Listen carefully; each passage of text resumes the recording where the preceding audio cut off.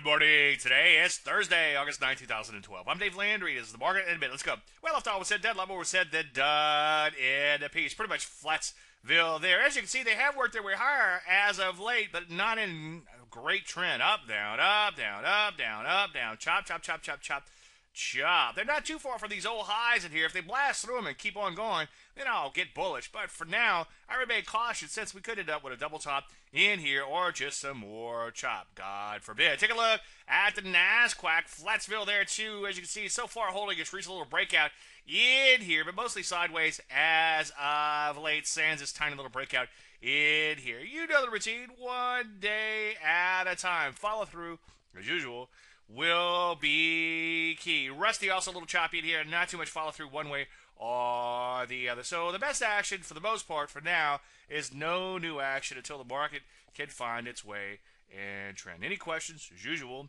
Dave at DaveLandry.com. Ooh, chart show later today. I hope to see you there. I'm Dave Landry, and you just heard Market in a Minute.